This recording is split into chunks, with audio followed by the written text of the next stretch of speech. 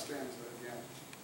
That night, a single, long-drawn, mournful note, a wail of the wilderness breaks the silence.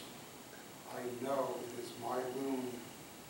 The full moon is in his voice, the farewell, the quiet that follows becomes deeper